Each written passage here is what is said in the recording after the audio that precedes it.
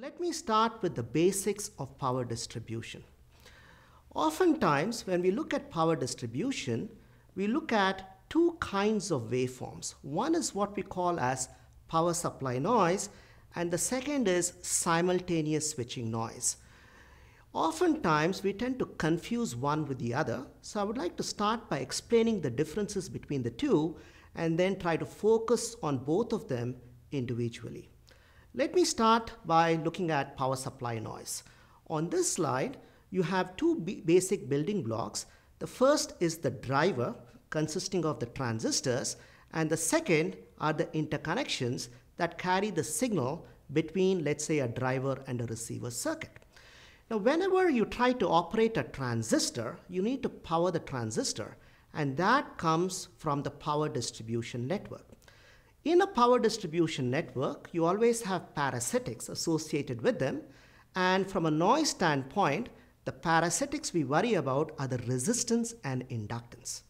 So every time the circuit switches, because of these parasitics, you tend to generate noise between the VDD and the ground nodes of the transistor level circuit and this is what we call as power supply noise. As the transistor switches, this noise tends to propagate into an interconnection that is connected to the transistor circuit and along its way it picks up reflections as well as crosstalk. So when the signal reaches the receiver circuit, not only do you have power supply noise as part of that signal, you also have the reflected noise and the crosstalk waveform embedded in it. All of these noise sources put together is what we call as simultaneous switching noise. Or in other words, power supply noise is a subset of simultaneous switching noise.